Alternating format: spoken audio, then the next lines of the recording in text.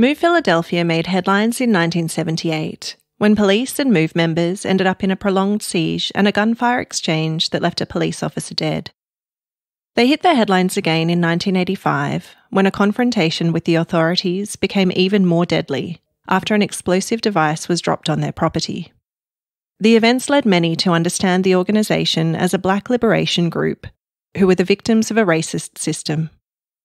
The latter is hardly debatable, but credible stories from a multitude of former members portray Move as never truly being about black liberation at all. Instead, they characterise it as a cult.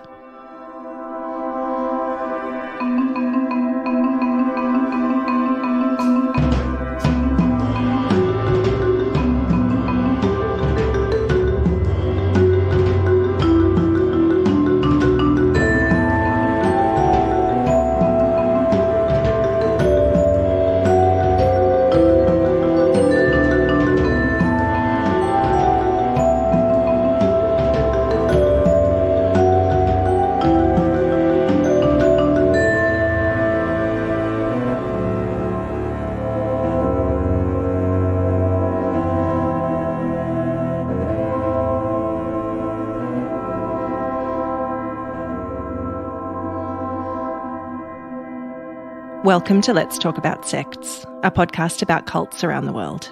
I'm your host, Sarah Steel. Before we get into this episode, a content warning. This podcast deals with issues that some people may find disturbing related to emotional abuse and controlling behaviours.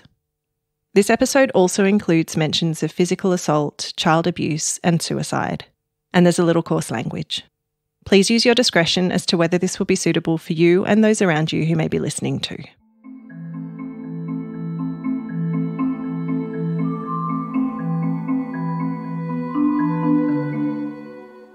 Vincent Lopez Leaphart was the fourth of ten children, six boys and four girls, born to Frederick and Lenny May Leaphart on the 26th of July 1931. Frederick and Lenny May were part of the Great Migration of 1.5 million African Americans who moved north from the Deep South between the World Wars, and their families had made the migration from Atlanta, Georgia, in the late 1920s. Frederick hung wallpaper and worked as a handyman, while Lenny May looked after the children in their drafty rented house in Mantua, a working class neighbourhood of West Philadelphia.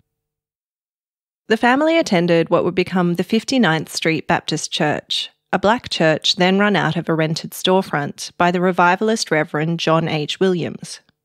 Author Richard Kent Evans' book, Move An American Religion, is a key source for much of this information, and is an interesting read if you're looking to delve into the subject further though it should be noted that the author intentionally privileges Move's own sources where they conflict with those of critics.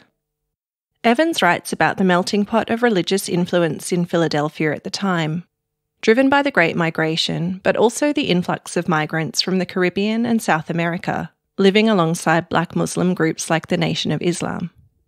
He draws some parallels between the teachings of Father Divine, who claimed to be God in the flesh, and the eventual teachings of Vincent Leaphart's movement. Father Divine's Peace Mission movement had its headquarters in Philadelphia when Vincent was 11 years old, though there's no indication of a direct connection with the Leapharts. This was a time of heartache within the Leaphart family, as Vincent's eldest brother died from a gunshot wound related to gang violence at the age of just 16. Vincent was struggling with his schooling and tested poorly on IQ, but as we've discussed in this podcast before, that doesn't necessarily mean much. By all accounts, he was far more intelligent than his IQ score might suggest, though he wasn't great at reading and writing. He dropped out of school when he was 16, and Craig R. McCoy reported for the Philadelphia Inquirer that he was arrested at 17 for stealing a car and an armed holdup. A few years later, his mother Lenny May passed away at the age of 43. Soon after this, Vincent joined the army and served in the Korean War. In March 1961, 29 year old Vincent married 29 year old Dorothy Clark. A friend of the couple told an Inquirer reporter that Vincent was a very smooth dresser. He looked nice, tailored clothes, a nice suit, decent shoes. Dorothy described him as a very deep thinker who always tried to be just and fair, and who was a leader and not a follower. The couple were unable to have children and eventually separated after Dorothy claimed her husband had physically assaulted her on two occasions. Dorothy had also joined the Kingdom of Yahweh, and Vincent wasn't a fan. That sect was founded by a man named Joe Jeffers, who the Los Angeles Times described as a huckster, jailbird, and white supremacist. A few years later, he would be found guilty of swindling his followers of over $200,000 in 13 counts of mail fraud.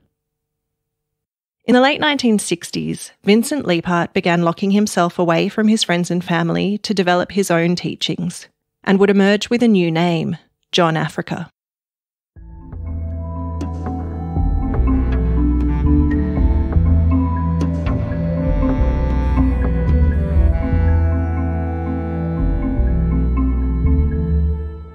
Martin Luther King was assassinated in April 1968, and after the Black Panthers were infiltrated by the FBI, their 21 year old leader, Fred Hampton, was shot and killed in his bed in December 1969. The coroner found that his death and that of fellow Panther Mark Clark were justifiable homicides by the police, and it took another two decades for a civil lawsuit to be settled with substantial payments from the government to survivors and relatives of Hampton and Clark. This was the political landscape when, in the early 1970s, Vincent met 24 year old academic Donald Glassey. Donald had recently completed his master's degree with a thesis about public housing projects and the participation of the poor, and was at a stage in life where he was ready to dedicate himself to something worthy. He liked what he heard of Vincent's various philosophies and encouraged him to write them down. When he found out that Vincent wasn't so great with writing, Donald, an educated white man, figured he could help. Donald moved in with Vincent at the housing cooperative where he was living, and an intense period of listening and writing followed over the next 12 months. What came out was a 300 page book that would come to be known as The Guidelines of John Africa, espousing Vincent's belief system and positioning the new John Africa as a prophet and a so called authority on life. The contents provided an answer across all aspects of existence to the evils of the system. Some of the answers proved incredibly rigid, and when Donald and Vincent refused to use cockroach spray in their apartment for fear of harming their dogs, the other co op members weren't so happy about the resulting infestation across the building. One of three members who confronted Vincent about the problem told the Philadelphia Inquirer that it was the first time he'd seen the man be hostile Quote, he said, in effect, if you're not with me, you're against me. In 1973, the co op commenced eviction proceedings. The guidelines, also known as Move's Bible, converted a number of new followers who joined Vincent and Donald along with a number of Vincent's family members in changing their surname to Africa to belong to the group now known as Move. Vincent Leaphart had started calling himself John Africa and taught that the assumed surname for members was in recognition of the continent where life originated. John Africa had a former Black Panther as one of his earliest followers, a man named Delbert Orr, who had been evading FBI warrants until he got in a car accident and came across John Africa's teachings during his recovery. He took on the new name Delbert Africa to join Move. In joining, Delbert renounced the teachings of the Black Panthers, which included Maoist socialism, as theoretical scientific nonsense now that he was fully invested in a totally different kind of revolution, according to Richard Kent Evans. Delbert was appointed as Move's Minister for Confrontation and Security. Richard Kent Evans wrote The people who found their way to Move were people who had given up on finding solutions to the world's problems. They found in the teachings of John Africa an alternative reality and a reordered cosmos. After Vincent and Donald left the housing co op, the early group pooled their resources to purchase a property in Powelton Village, to be known as the house that John Africa built. Soon they started squatting in the attached abandoned next door property as well. They lived with a number of dogs behind a sign that said, Long live John Africa, and eventually built high walls around the property. There were Move members living in other properties as well, and Move supporters spread more widely who were on the periphery of the organisation, but not considered truly invested. Move members lived a simple life with few clothes or personal possessions. They rejected most forms of technology, cooked over a fire, and slept on the floor. They ate a so called natural diet of raw vegetables, grains, rice, and beans. Interestingly, this was an aspect of the teachings in the kingdom of Yahweh that the then Vincent had eschewed when his wife was following it. John Africa, however, believed that people and animals should be considered equals, and Move members demonstrated outside the zoo and pet stores for the animals to be set free. In the early days, Move invited members of the public into the Powelton village home to listen to readings of the guidelines of John Africa. By 1974, the group consisted of about two dozen people who believed their way of life in the house that John Africa built was totally outside of the system and the only true way to escape its evils. Illnesses were framed as the body's allergic response to the system, which could be overcome by changes in exercise and diet. Richard Kent Evans writes that, according to the guidelines, there was one other person besides John Africa who lived in total harmony with natural law Jesus of Nazareth.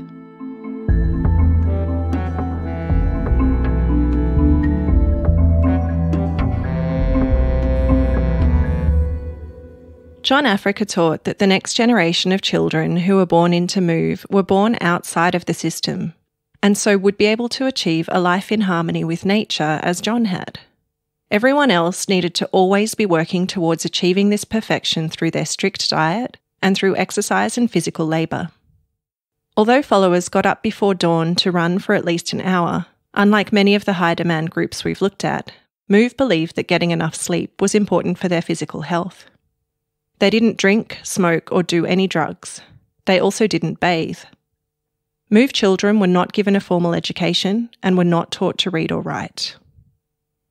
Move members were expected to be heterosexual, with a Move marriage to last for life, in spite of John's own separation from his wife, and couples were not to use contraception. John Africa taught that abortion was murder and homosexuality a perversion. Former Move member Valerie Janet Brown told the Philadelphia Inquirer that births were totally natural, and the mother was to sever the umbilical cord with her teeth before licking the newborn baby clean. She said that her eldest daughter was doing 200 to 400 push ups a day by the age of three. Members would follow John Africa's directions to disrupt various talks and meetings and would often become confrontational with police. Many arrests took place over the coming years, with MOVE members arrested 142 times in 1975 alone. John Africa was never around to risk getting arrested himself. Residents at the housing co op that had ousted Vince and Donald said that they were being harassed by MOVE members, and other neighbours reported feeling threatened by them as well. In 1975, MOVE member Jerry Africa received three years probation for threatening the wife and children of one of the co op members. Another former co op resident told the Philadelphia Inquirer Some people insist on seeing Move as the victim of racism and police brutality, and they were not interested in listening to the people whose persons had been threatened, whose children had been threatened, whose property had been threatened, who were living literally under the Move gun. For us, it was horrible. Andino R. Ward was the father of Michael Moses Ward and was already separated from Michael's mother Rhonda when she came across Move. Andino told Philadelphia Magazine that one day in the early 1970s, when he went to pick up Michael from Rhonda's mother's place, he was told that she no longer lived there and was now with Move. Quote, I went to the Powelton Move house, almost went to blows with John Africa. Then a guy came out with a hatchet, so I got out of there. Later, Rhonda told me that her new family was Move, that John Africa was Mike's father, that I could forget any involvement. Within Move, Michael became known as Birdie Africa. Andino says he made another attempt to see his son sometime later. Quote, In the mid 70s, I went to the Powelton house. I tried to initiate conversation, and somebody shot at me. I took off running, wouldn't see my son for another 10 years.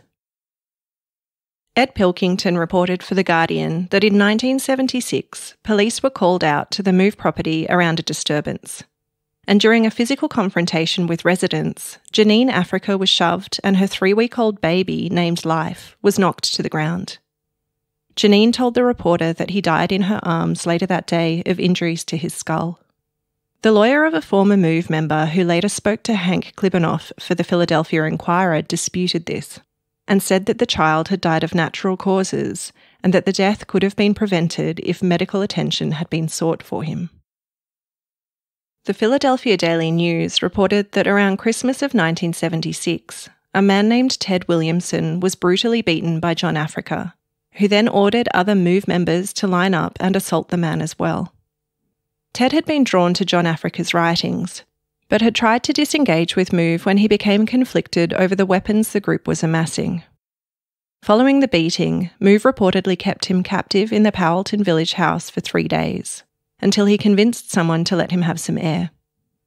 He managed to escape to hospital where he was treated for his injuries, and he had lost his sight in one eye. Sometime after the ordeal, he spent six weeks in a psychiatric ward then on the 24th of May 1977, Ted came into contact with a 30,000 volt power line. In what was assumed to be the result of self inflicted injuries, the 30 year old died 18 days later.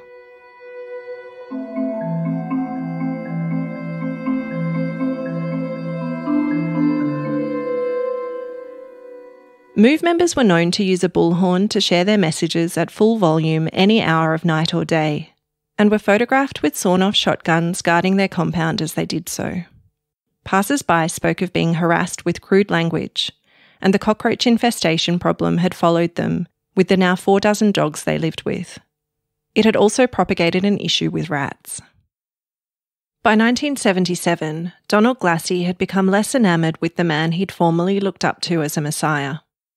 As Craig R. McCoy reported for the Philadelphia Inquirer, Special Agent Wasaluk of the Bureau of Alcohol, Tobacco and Firearms, or ATF, wrote in an early report after speaking with Donald, quote, Glassey stated that John Africa had a Charles Manson type grip on MOVE members, and that they had now ceased to function as free thinking individuals. He was firmly convinced that MOVE members would kill if ordered by John Africa. Donald, like Ted Williamson, had become concerned that the group was stockpiling weapons. Donald Glassey was convinced to turn informant, and along with another disaffected supporter, brought the ATF 20 bombs along with high powered rifles, shotguns, a handgun, and other bomb parts. When the police couldn't locate John Africa to arrest him, Donald pretended that his own absence had been due to an arrest and returned to the fold to gain intel. In September 1977, a federal grand jury indicted 10 MOVE members on bomb plot and conspiracy charges. But once again, John Africa couldn't be located to be served with the warrant. When MOVE members failed to respond to an eviction order from the city, in March 1978, authorities imposed a blockade and cut off all food and water into the compound. A compromise was reached on the 3rd of May with a 1 August deadline for MOVE members to peacefully exit the building. But MOVE violated the agreement when they didn't vacate by the deadline. By the 8th of August 1978, the siege had been going for 56 days when police advanced on the Powelton village property and a shootout ensued. 18 officers and firefighters were injured in the gunfire, and 52 year old Philadelphia police officer James Ramp was killed.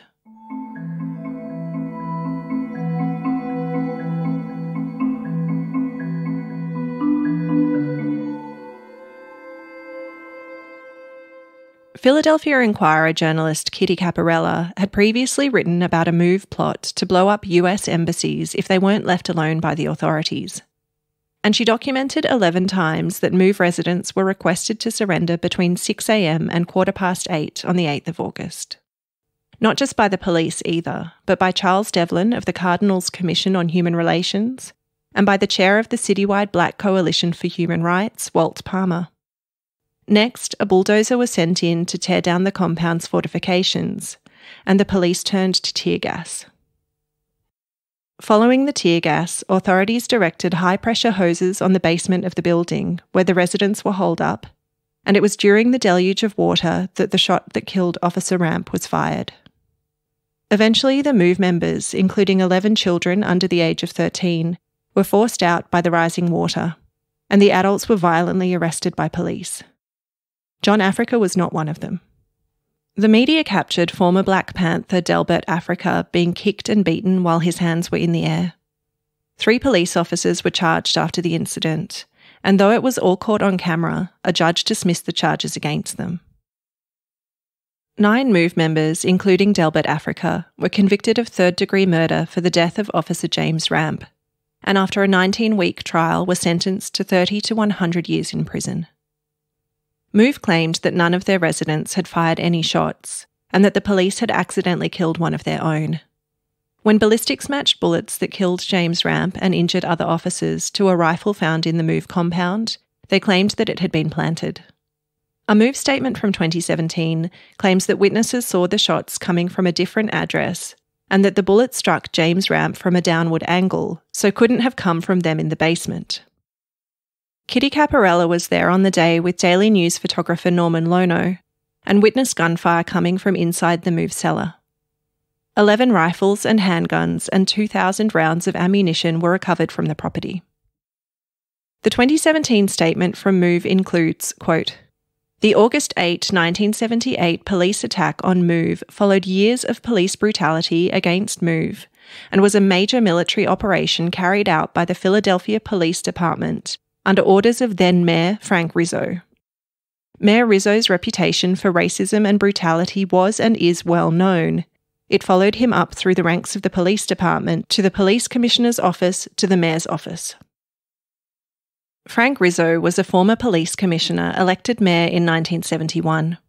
And during his second term, Philadelphia Inquirer reporters William K. Marimow and Jon Neumann wrote a Pulitzer Prize winning four part series entitled The Homicide Files that covered the Philadelphia Police Department's patterns of police brutality and disregard for constitutional rights.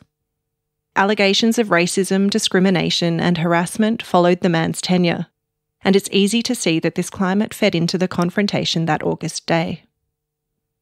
The incredibly long sentences of what became known as the Move Nine, when it couldn't ever really be confirmed who shot the gun that killed Officer Ramp, can hardly be seen outside of the lens of a racist system. Shockingly, the worst of the tensions between Move and the authorities was yet to come.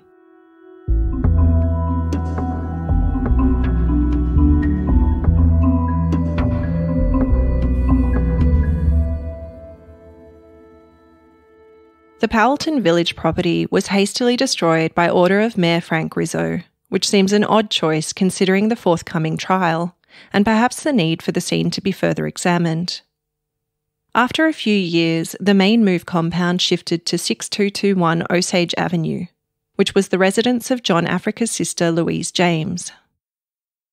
After three years evading the authorities, John Africa was arrested on federal charges of rioting and bomb making but he managed to beat the charges, with a federal jury acquitting him on the 22nd of July 1981. For his followers, this was further proof of John Africa's godlike status, and it seemed to feed into his own ego as well. Former Move supporter Tony Allen documents on his blog called the Anti Move Mumia blog that former Move member William Whitney Smith would have been set to testify at the trial, but instead went missing in late 1979 before the 37 year old's body was discovered in the Schuylkill River. The incident was ruled a death by suicide. Nevertheless, prosecutor L. Mark Durant was shocked that with the mountains of evidence they had, the case didn't go their way. He later told the Philadelphia Inquirer, It was the only case I ever lost as a prosecutor. It was also the strongest case I ever had. Louise James, John Africa's sister, told the police that in October 1983, John had ordered her son Frank to beat her, after she refused to read out a letter filled with obscenities attacking her devotion to move. Frank hit his mother until she threw up, then covered her face with a pillow and asked John whether he wanted her cycled, referring to the move word for death. Apparently, John said, No, not at this time. According to the report, this wasn't the first time Frank had been ordered by John Africa to beat his own mother.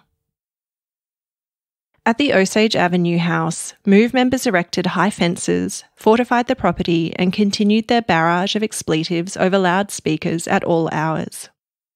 Residents in the black middle class neighbourhood said that the new neighbours had been friendly at first, allowing their children to play together, but that they soon stopped letting the move kids mix with the neighbourhood children and locked them away in the compound.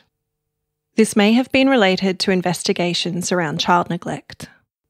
Neighbours testified in a later hearing how the ongoing, unpredictable, amplified obscenities left them feeling helpless in their own homes. Move then built what was referred to as a bunker on top of their building, with holes that were understood to be embrasures through which guns could be fired. Crisis negotiator Benny Swans testified that his impression was that Move members were trying to force the residents into demanding the city take action to prompt another confrontation with authorities and neighbours did file complaints of harassment, child neglect, and sanitation problems. Local resident Oris Buck Thompson told Time magazine that Move members were set on their goal to get the Move 9 out of prison, and, quote, they said they'd been through the courts, but the only way to get them out of jail was through confrontation. In January 1984, Wilson Goode was elected as Philadelphia's first African American mayor. On the 3rd of May, police attended the Move residence when a hooded member was observed on the roof of the building with a shotgun, and officers surrounded the building in a two hour standoff. The event seems to have de escalated, with police never entering the building or making any arrests. Mayor Goode was reported to have said in response to sanitation complaints that it was better to have dirt and some smell than to have blood. But the situation continued to deteriorate, and Mayor Goode's attempts at negotiation all failed. Crisis intervention worker Bob Owens told Time magazine they don't really even understand the concept of negotiation. Their attitude was that of a child. We make our demands and we stand on them.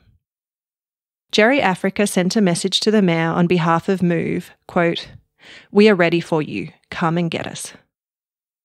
With a block of local residents holding a press conference to demand action from the city on the 30th of April 1985, eventually Mayor Wilson Goode gave the order to have the Move people evicted from the Osage Avenue residence.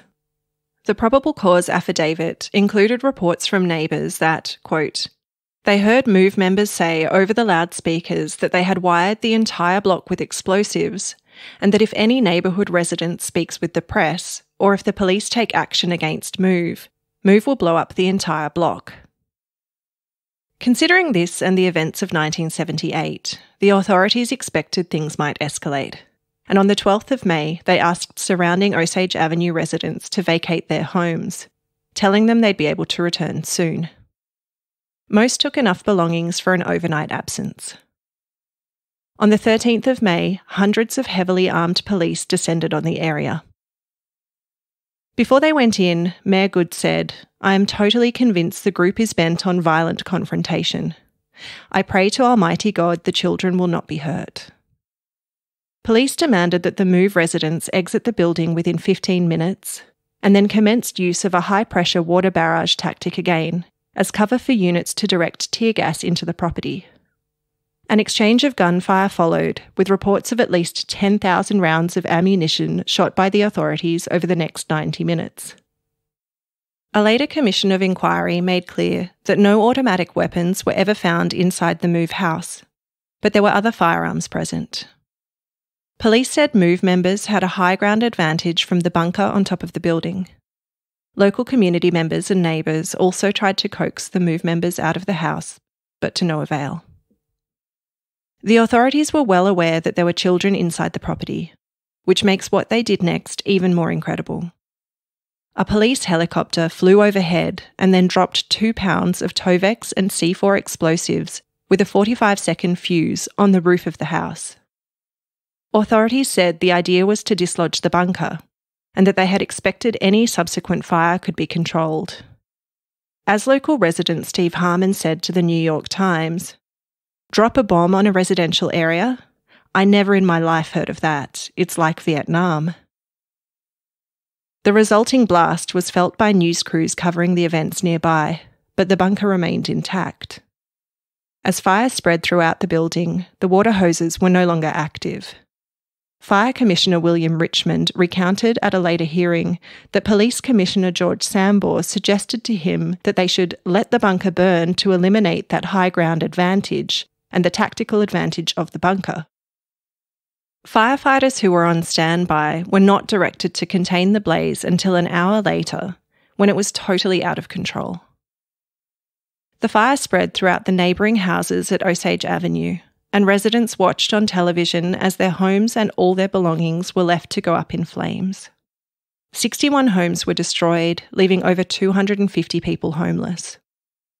Mayor Wilson Goode, who was following the televised events from City Hall, gave an order to put the fire out.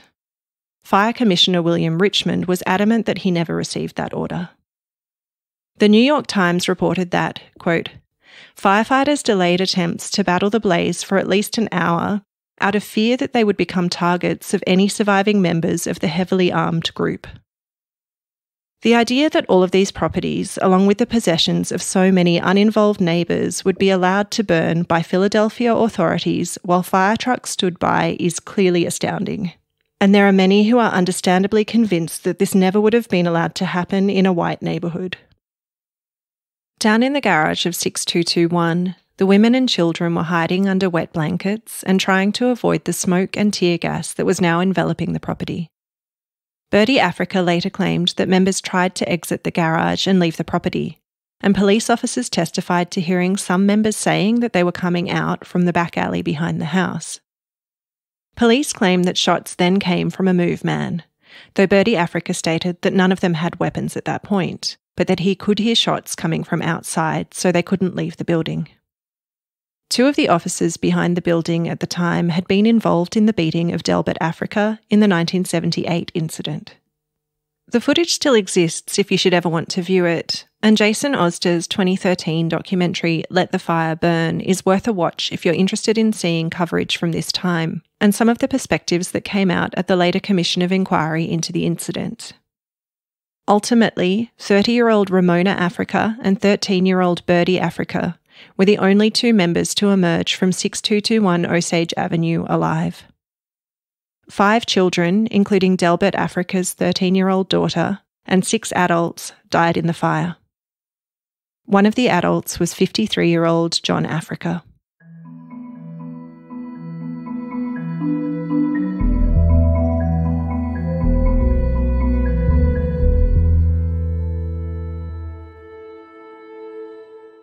Mayor Wilson Goode made a statement following the incident which included, quote, As mayor of this city, I accept full and total responsibility.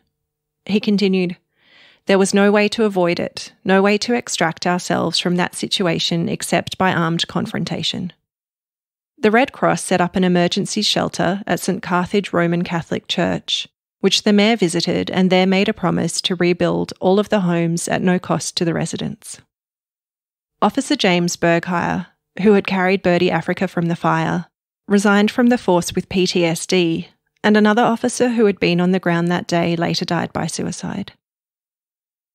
After public hearings, the Commission into the incident released a report in March 1986 highly critical of the events.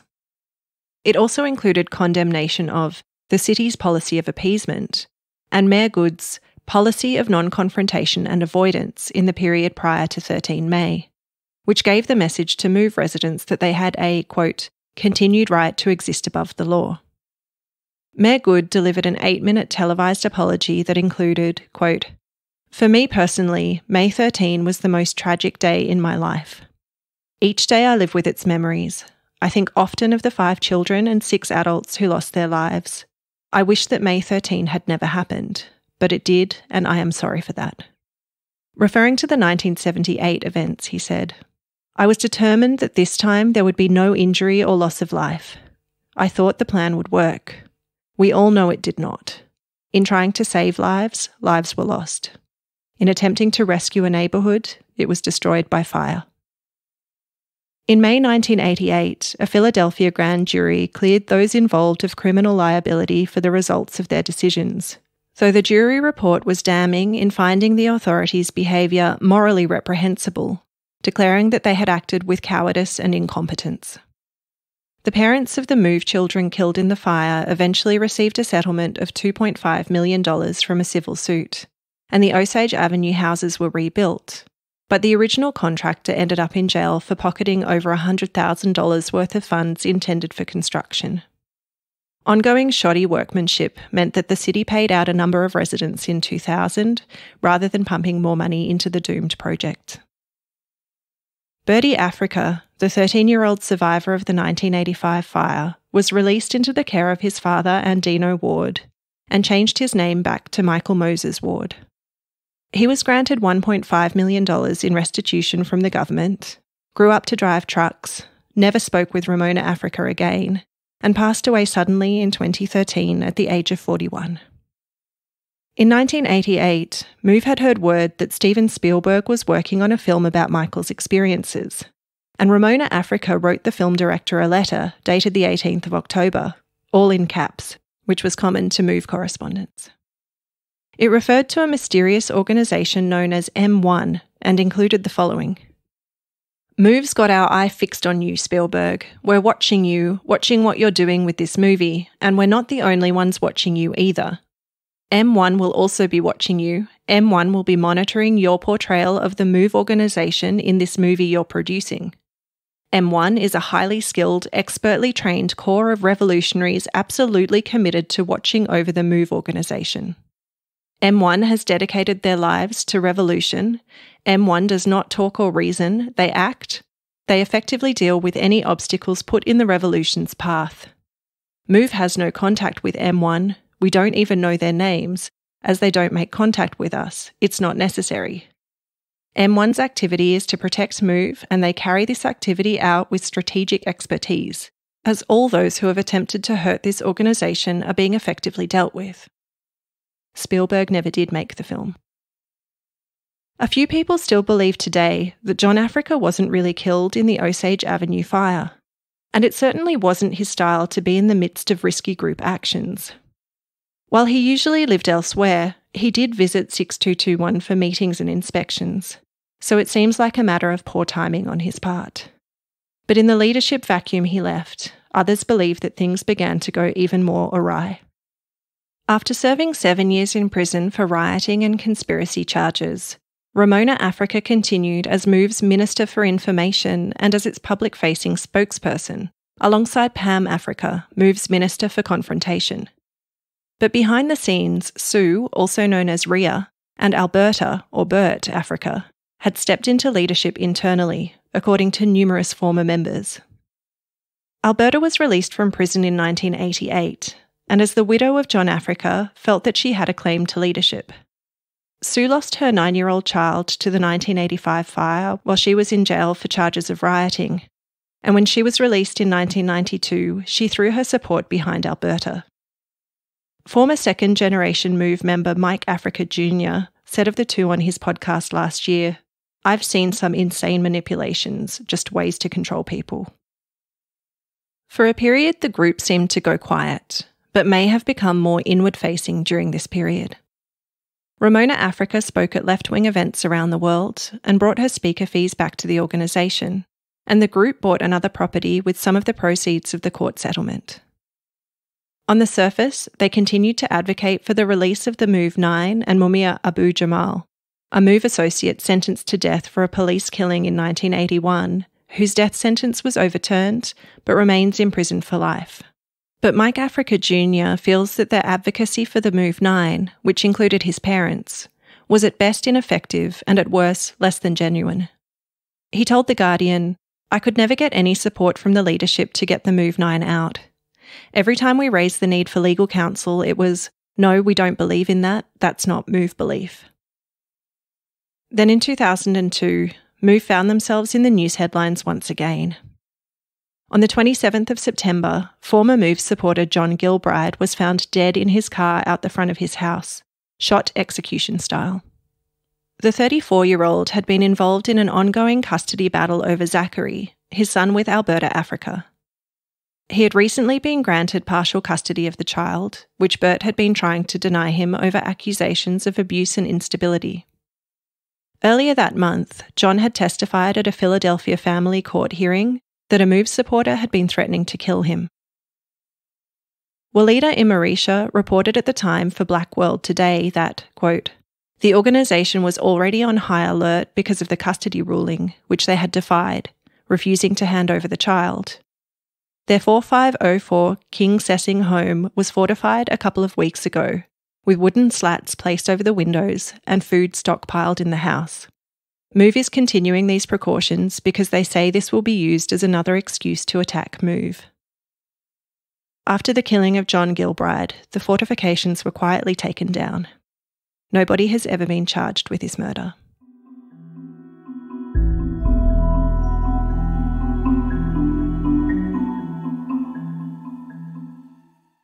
Tony and Laurie Allen left Move in 2004, and Tony told journalist Monica Yant Kinney it went from a religious cult to a cult of personality.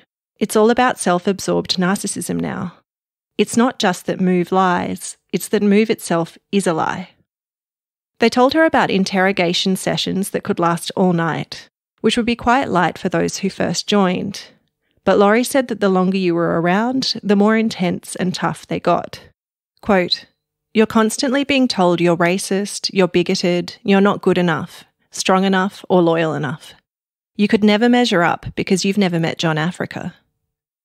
After they felt you were broken down enough, Move members would build you back up again, which Tony says became addictive in some ways. Chuck Sims, one of the Move Nine and an uncle to Mike Africa Jr., was ousted from Move by Bert in 2011 while he was still in prison. The Guardian reported that this was a result of questioning the judgment of the leaders of Move. Mike Africa Jr. was born in prison to Mike Davis Sr. and Debbie Davis, two of the Move Nine sentenced to 30 to 100 years in 1978. He featured in the HBO documentary 40 Years a Prisoner, which I couldn't find a way to watch from Australia. Mike Jr. spent decades fighting for his parents' release and the release of the rest of the Move Nine, and it's worth listening to his podcast On a Move with Mike Africa Jr. to get an insider's perspective of the organisation and one view of its impact on his generation of members. This view is somewhat disputed, though. More on that shortly. Mike Africa Jr. spoke on his podcast about how one of the Move Nine, Phil Africa, was suffering from cancer in prison, and Move members told him to stop taking his medication, that he needed to have faith in John Africa and nature, and that Move members didn't get cancer anyway. And Phil did stop taking the medication, and he died while still imprisoned in January 2015. Mike Jr. recounts a study session where Sue claimed Phil had died before gaining his release because he was a failure. Mike Jr. was gobsmacked to hear this said about a man who gave decades of his life to move and never wavered in his commitment to the organisation even after so many years behind bars. Then, when Ramona Africa fell ill, Sue and Alberta didn't allow her to get medical care for months, then tried to have members take her food in hospital that doctors said was unhealthy for her to eat. Mike Jr. recalls Sue claiming that Ramona's lymphoma was all in her head and that she was doing it to herself. Mike Davis Sr. spoke on his son's podcast about how he lost half of his nuclear family while he was in prison, and that he received no support or sympathy from what he called the organisation at these times of personal tragedy. In 2019, when his parents were finally released after serving 40 years, Mike Jr. says that they were treated terribly by the leadership. Quote, like they were not supposed to come home. He felt that instead of being excited about a development that they had been advocating for over so many years, Move people were mad at both him and his parents that they were home. Debbie Davis shared on the podcast that Sue and Bert didn't even visit her for two months. And Mike Jr. says he had a phone call from Alberta where she screamed at him about how mad she was that he got his people out and left her people in there. Alberta considered Janine, Janet, and Eddie Africa her people, and they were released from prison the following year, in 2019. Delbert and Chuck were then released in 2020. Delbert Orr Africa passed away from cancer just five months after his release, on the 15th of June 2020. Move claimed that this was a result of his medical conditions being left untreated while he was in prison. And I'll let you consider how this sits with Move beliefs about illness and medical treatment. The final member of the Move Nine, imprisoned after the 1978 standoff, was Merle Africa, and he had passed away while still incarcerated in March 1998 after serving two decades behind bars. Some theorise that having the Move 9 out of prison took away one of the few avenues of advocacy that Move members were still publicly involved in, one of the key things that drew supporters to them and gave them legitimacy. By this time, Alberta was living in a nice house, regularly flying internationally and watching plenty of television. A lifestyle far away from the original teachings of John Africa. Returning to spreading the word about his views on living a simple life might have been tricky. And over the last couple of years, more disturbing stories have begun to emerge about the organisation and how it operates, many voiced by those from the second and third generation of Move children.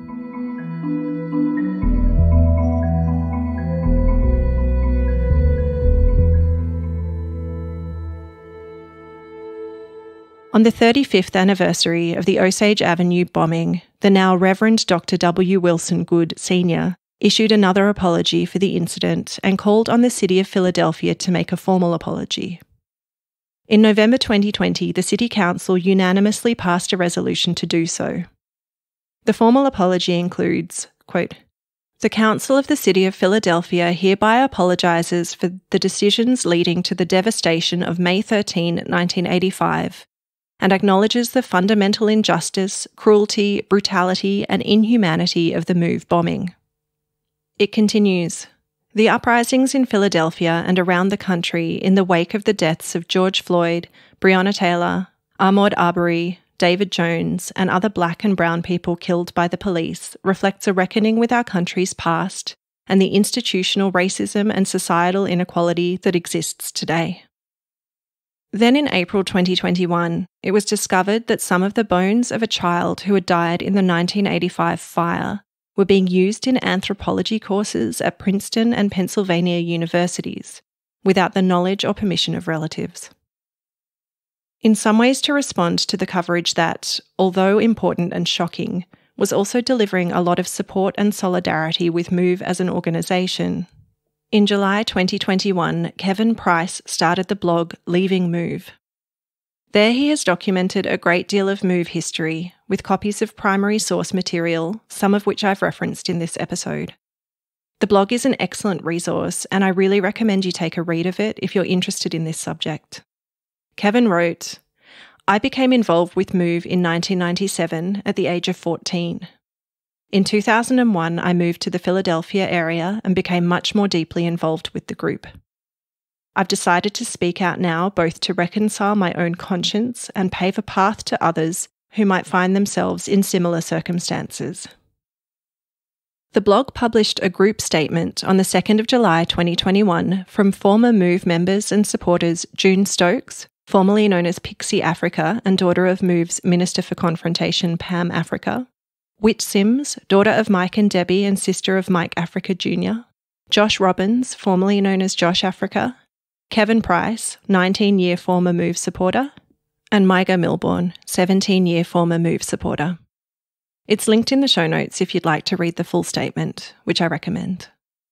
It talks about the signatories telling their stories to the podcast Murder at Ryan's Run, which I would also recommend you listen to, in order to help expose, quote, a pattern of child abuse that June, Josh, Whit, and many others have experienced, and that is consistent with patterns of abuse that have been ongoing throughout the near 50 years that MOVE has existed. A consistent pattern of direct threats and intimidation against people who want to leave MOVE and tell the truth about their experiences. Some defectors have been threatened, and there are many MOVE related deaths or murders that are very suspicious, namely the 2002 murder of John Gilbride. And, quote, a myriad of financial crimes and other ways that Move has exploited the political support they receive in order to benefit Move's leadership.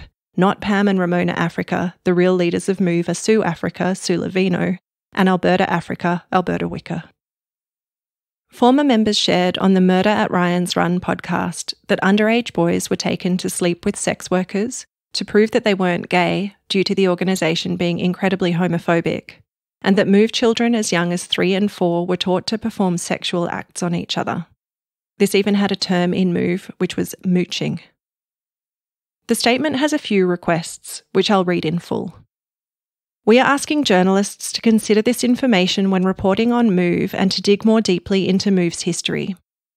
We're also asking other current and former Move members to speak out about the real history of Move in order to protect June, Josh, Whit, and many others who have suffered as a result of being born into Move. We recognise that many Move members will be uncomfortable with inner circle knowledge being revealed publicly.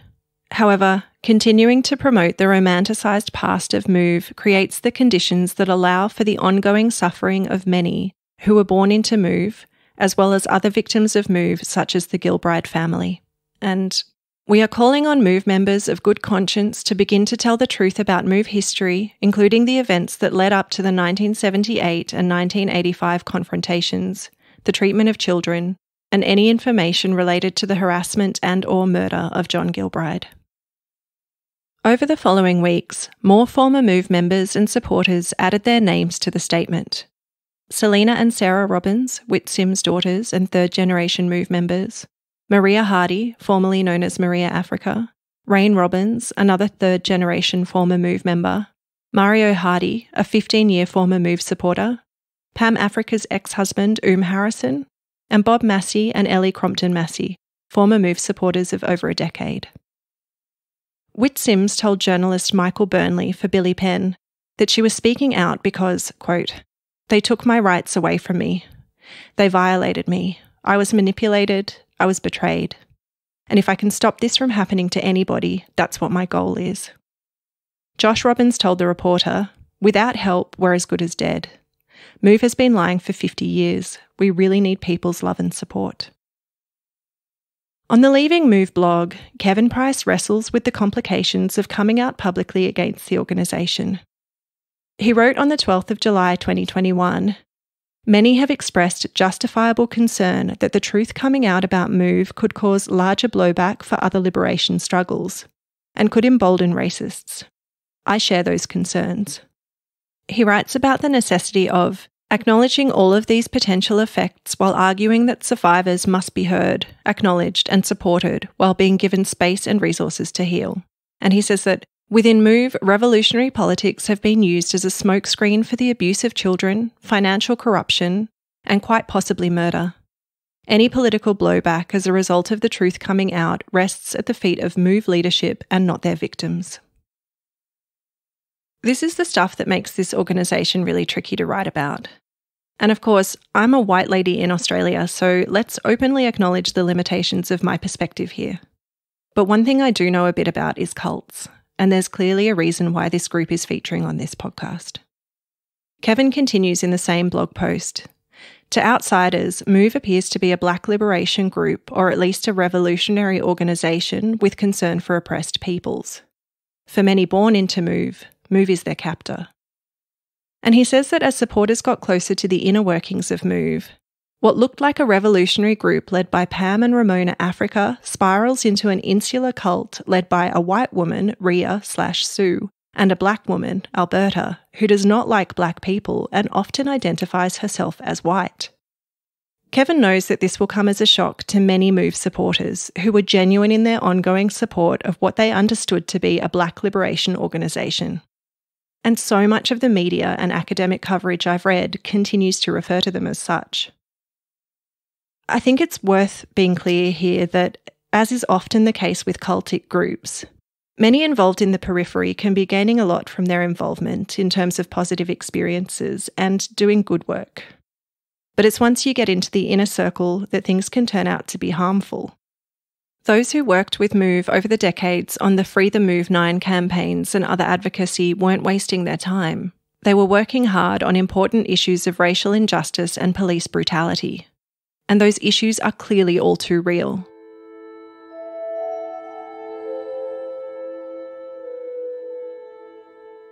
Mike Africa Jr. says on his podcast that all the work that everyone did in the streets and all the supporters who wore shirts and wrote letters and campaigned, none of it was in vain.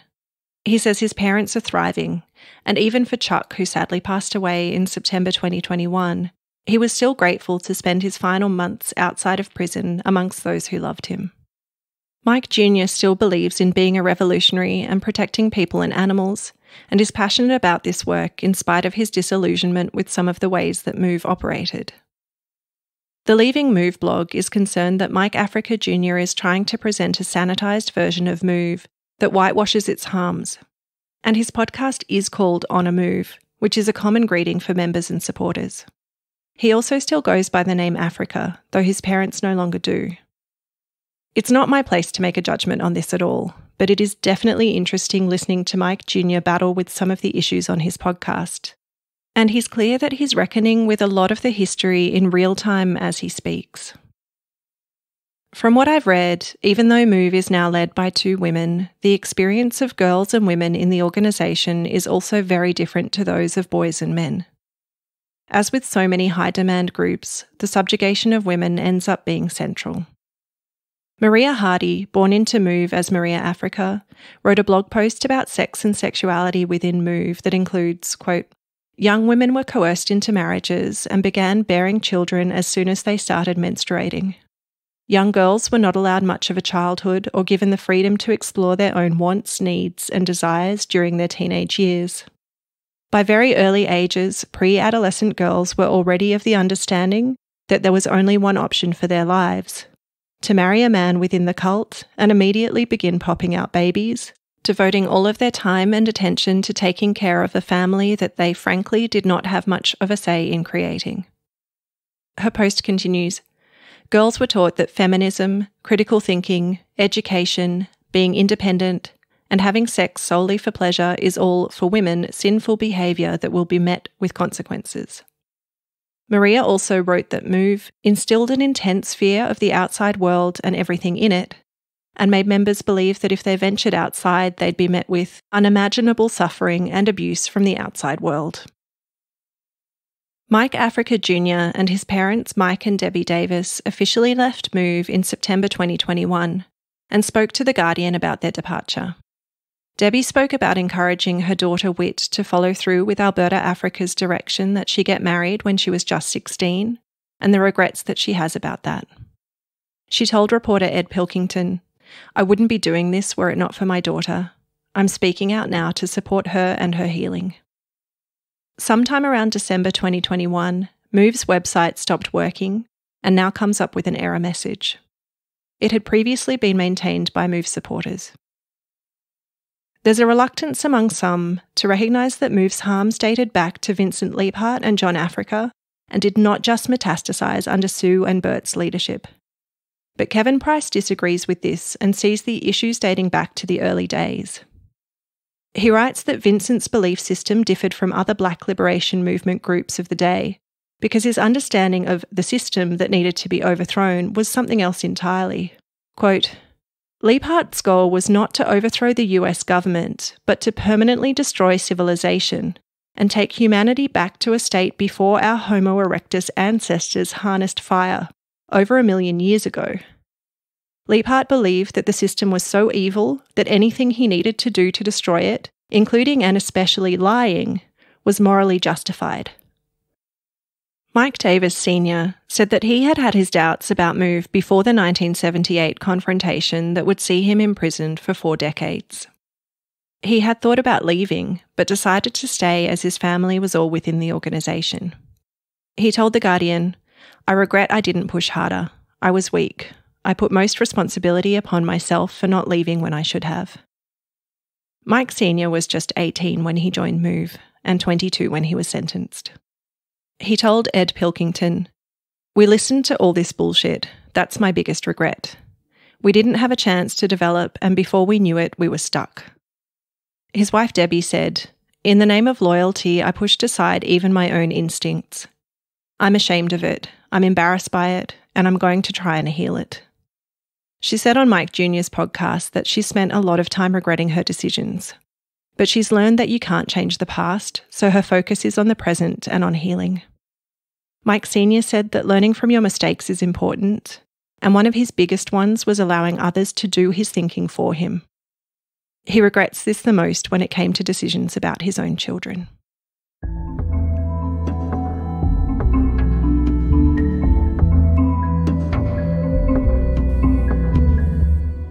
Kevin Price believes that what happened in the 1978 confrontation was exactly what Vincent Leaphart wanted to happen.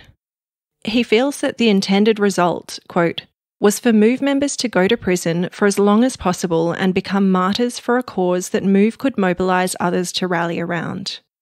And one of the reasons he believes this is that Vincent, quote, instructed the MOVE 9 to request a bench trial instead of a jury trial nearly guaranteeing their conviction and the longest sentence possible. Those who have spoken out strongly on the Leaving Move blog and on the Murder at Ryan's Run podcast do not do so lightly. June Stokes, Pam Africa's daughter, known as Pixie within the organisation, says that Alberta Africa threatened that she'd be killed if she ever spoke about the things she'd witnessed in Move. She went into hiding before the podcast episodes were released. When June originally found out that Kevin Price was going to be speaking on the Murder at Ryan's Run podcast, she worried about his safety as well. Kevin felt okay since Tony and Laurie Allen hadn't faced any repercussions and they'd been speaking out since they left in 2004. But as Kevin wrote on his blog, quote, June counted that Ria and Bert had not lost control over the group at that point. She reiterated that they'd been talking about M1, the underground military faction of Move, with increasing frequency, that they were rapidly losing touch with reality and were capable of absolutely anything. June had tried to leave Move with her children before, but was told that her children belonged to Move. Shockingly, June had her first child at the age of 12 in Move under the control of its leaders. June also says that death threats were made against her multiple times, and that she had often been told that Move had M1 members working in law enforcement who would protect Move at all costs. The idea of this may seem absurd considering Move's known attitude towards the police, but a reminder to try to understand Move outside of how it positions itself to supporters may be useful here. Many of those who have spoken out about Move know that it's difficult for a lot of people to see the organisation outside of the horrors of the 13th of May 1985, and all of them recognise that no matter what, there can never be an excuse for the actions of the authorities on that fateful day. Kevin Price has a view on the incident that you may find interesting. Quote, on May 13th, Philadelphia officials played into Leaphart's apocalyptic vision, with tragic results. Leaphart predicted that the death and destruction on May 13th would help to trigger a global uprising that would eventually topple civilization and lead to an Edenic world. With this last move, Leaphart fulfilled the final pattern of most destructive cults. May 13th was Leaphart's way of ensuring that his name would live on and that he would not have to live up to his own self created mythology.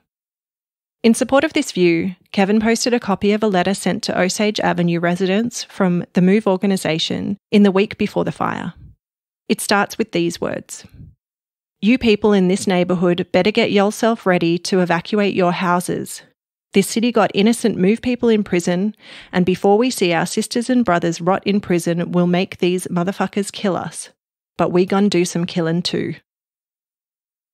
I'm going to finish this episode on the words of Maiga Milbourne, former Move supporter of 17 years, and then those of June Stokes, formerly known as Pixie Africa. Both were published on the Leaving Move blog on the 16th of July 2021. Maiga Milbourne writes What if we said to survivors, I believe you? You owe me nothing. I will work to lift your voice and listen to you. I will do my best to support you. If there is something you need, I will be there to do my best to offer it as you heal and rebuild. What if we said to offenders, Your path forward is to fully own your part? You will not be exiled, you will not be shunned. We, your community, know you are capable of the truth, and we are here to receive and witness it.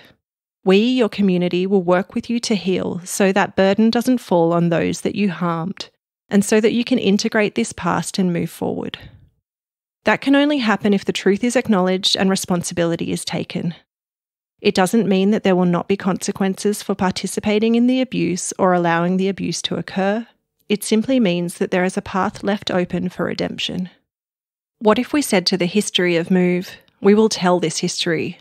We will continue to tell one another about the events, beliefs, and people of Move, and we will tell the whole truth, we will tell about what it felt like to be part of a movement alongside how that hope made many of us blind to the suffering in our midst.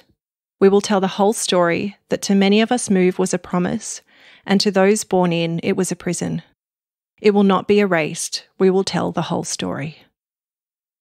And finally, from June Stokes. I understand that this is all hard to deal with, and finding out that move is not what you thought for all this time is devastating. I also understand that a lot of you don't agree with how I went about things. But if something is wrong and hurting people, it must be stopped. That does not mean that I am saying that the government is right. It means that I will not stand for no abuse, no matter who it's from, and I am doing what I have to do.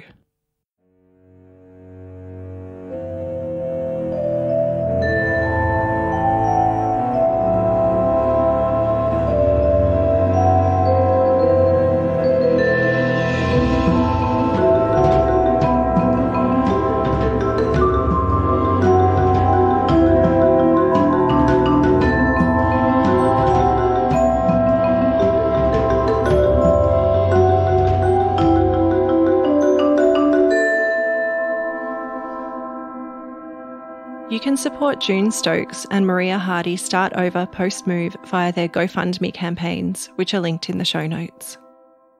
You can access ad free episodes and support the production of this independent podcast via Patreon or Acast Plus, or with a one off donation or merch purchase. You can also listen to my audiobook, Do As I Say. This episode of Let's Talk About Sects was researched and written by me, Sarah Steel, and edited by Matt Brazel. Music was by Joe Gould.